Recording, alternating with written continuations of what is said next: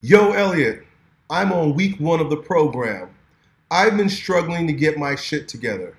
I'm leaving for college in two weeks, and I feel like I've lost motivation as I don't have a goal.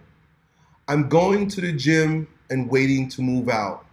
I would like to hit the ground running when I move to college. Got any tips? Yeah, man. So you're literally going from one phase of life into another, right? You're going from what you've known so far, so long as you've been living in your mama and dad's home, right? And in two weeks, you're going to move out and you're going to be living in an entirely different universe. All different surroundings, different people, different responsibilities, different lifestyle all together, right? And so when we find ourselves about to cross that threshold, really, that's what you're doing. You're about to cross cross the threshold. Our imagination can run wild our imagination can run wild with all kinds of things that we I want to do, I hope happens. Uh, even sometimes I'll do this. I'll dream of, I'll think about what it's going to be like when I get there, but it's all mental mental masturbation. None of it is true. You're just you're just lost in your imagination. And that, if you think about it, your imagination is like a small fire, right? The fire is kindling, right? This small imagination. I'm going to be getting married in two weeks. I get a new job in two weeks. Going away to college in two weeks. Whatever it is, it's over there. I'm over here, and I'm letting the fire kindle. Now, on top of that, when you are anxious about it, when you got feelings about it, when you're nervous about it, you add fuel to that fire. So the emotional, the emotional gasoline gets dumped on that mental fire, and you can get, you could just completely get you can run away. Your imagination will run away, right? Say, how do they say that? Uh, run away with your imagination, right? You're gonna run away with your imagination, and sometimes that's fun, right? We do it because in a way it gives us this sense of groundedness. It gives us a sense of like, oh, I know what's going to happen, or I can prepare for what's going to happen. And like you say, I want to hit the ground running when I move to college. What I'm going to invite you to do is to stop altogether and give yourself You say, I don't have motivation, I don't have a goal. You don't need motivation and you don't need a goal right now. You need to clean the slate, prepare your soul, tie your shoelaces on a little tighter, gird up your loins, and get ready for a whole new battle you're going to engage in. And again, you can't predict what that's going to be like right when we when we when something is imminent in our life we know it's coming but we're not sure of the content of it all we can do is wait to receive it all we can do is allow it to unfold for us otherwise when we try to get too involved with what's not even here yet when we try to manipulate the future man we make ourselves even more anxious more nervous more worried more like you say right now you're having this this feeling of loss, right? Like, uh, uh, what am I doing? Well, I'll tell you what, you got two weeks right now, bro. You got two weeks to calm down, be present, and watch and wait. I know that's a hard thing to do, right? You say, I'm going to the gym and I'm doing all this stuff. I don't say stop your life. Keep going to the gym, keep doing what you normally do. But don't like jack yourself up about what's going to happen in the next two weeks and how it's going to unfold and what you're going to do and how you're going to hit the ground running. You say I like to hit the ground running when you get there. You might hit the ground face face down. You may face plant the ground. You don't know. You have no idea. You might get there and they say, "Oh, uh, Mr. Pizias, looks like you've got a, a a hold on your account and your funds didn't come through." And we don't have a room for you. What you gonna do then? You're gonna say, but I planned on hitting the ground running. And they're gonna say, well, we're sorry, sir. You're gonna have to start next week once we get this paperwork done, right? You have no freaking clue what's gonna happen. You could get there and you could roommate with like a celebrity, right? Somebody that you've been following on YouTube or something like that, right? You get there and it's like, whoa, and it just throws your whole game off. And you're like, wow, I thought it was gonna be good, but this is even better, right? Again, it could be worse than you imagine. It could be better than you imagine. The whole point here I'm saying is to be neutral. Stay neutral, stay cool, right? Like when my son is learning how to play baseball right now, right? My son's learning how to play baseball. He's not the greatest athlete, but he's he's trying, and I appreciate his trying, his effort, right? He's willing to do anything, my boy. So we're taking him out to baseball practice, and I don't know anything about baseball. So we hire a baseball coach to teach my son how to play baseball. And one of the things baseball coach says when he's playing in the outfield is he's got to sit in a new, he's got to sit and be ready. That means he's got to be kind of like bent in his knees, and he's got to have his hands with his mitt down by his side, right? Just, just he said, he says to him, just stay there, just wait right there in that ready position.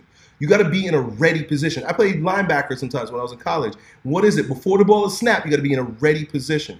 But what's the ready position? The ready position is a calm, neutral space that allows you to make a powerful play when the time comes. So just as a linebacker standing there in the neutral position, just as my brother, my son, when he's out there playing shortstop and he's in neutral position, what are you doing? You're waiting for the play. You're, he's waiting for that that crack of that bat to that ball, and then so when that ball is hit, then and only then did he does he know. Okay, do I need to dip down and get the grounder? Do I need to run back and catch the pop fly or the linebacker? Do I need to come up and meet him in the hole, or do I need to follow somebody out the line and follow? You see what I'm saying? Everything, every action is measured by, or every action proceeds from a place of neutrality, a neutral place, an empty place. I'm gonna start ranting now because this is pretty deep. This is this is very important stuff. Empty space is not empty space. Empty space is a womb, right? What is a woman? A woman has a womb in her. She's got an opening and she's got an empty space. All empty space is pregnant with possibility, right? This woman is, and I'm using the body as an example, but everything that is empty is is is ready for possibility. But when something's full, then the then the time space continuum has already collapsed, right? Say there's already a baby in that woman. Well, then there's no other babies going to be happening there, right? But before the baby's there, there's pure potential. Before the ball is hit, there's pure potential. Before the ball is hiked with the linebacker, there's pure potential. Before you actually arrive on a college campus, there's nothing but pure potential. And what does the baby, what does the lady do when she's waiting for the baby? What does the linebacker do or the or the shortstop do? Wait. Wait and see, but wait it's a different kind of waiting than doing nothing, right? Just like the, the, the pregnant potential of the woman is that, that there's nothing happening there, it's just that potential is waiting to be unleashed. Potential is always waiting to be unleashed in empty spaces. So right now, if you want to if you want to unfold the most powerful uh, potential in the situation that you find yourself in, you have to be relaxed. Imagine the imagine the football player or an athlete, right? Rather than being relaxed in their in their in their neutral state, they're like they're anxious and they're like they can't sit still and they're like every time somebody sneezes they think that the ball was hit right? Somebody uh, drops a drops a drink boom and that the uh, the guy the kid is like running around like where's the ball? Where's the ball? He's out of his mind. We out of his mind how much how many times do we do that right where the thing is not even here yet the ball hasn't even been hit, hit yet but we're making ourselves crazy running around and then anything that like snaps, we're like, what, what, is that it? Is that it? Right? Too anxious, too much anticipation. Sit with potential, right? Sit in the tension that is potential, right? There's a there's a there's a sort of tension in something that has potential, right? Because if that tension wasn't there, there'd be no energy. And where there's no energy, there's no potential. So what I'm saying is sit with the tension, right? Chill out. Chill out, allow the tension to be there without having to do anything. And most importantly, without judging yourself. You say, I feel like I've lost motivation and I don't have a goal. Both of those don't make any sense. Number one, you do have a goal. The goal is you go to college. And when you go to college, what do you do when you're there? Get the best fucking grades, right? You, that's I think that's super important, right? Because if you're going to be I'm not a fan of college. I'm not a fan of college. But if you're going to do it, just like when you're going to do anything in your life, your objective is to be the best. So you're going to college. What is your goal? To get a 4.0. There's no other goal than that. right? That's what you signed up for, right? Like for example, when the baseball player goes to the base, you know, and he's he get ready to hit, he has he has one goal. By mere virtue of he walking up to the plate and standing there with the bat means my goal is to hit this ball out the park.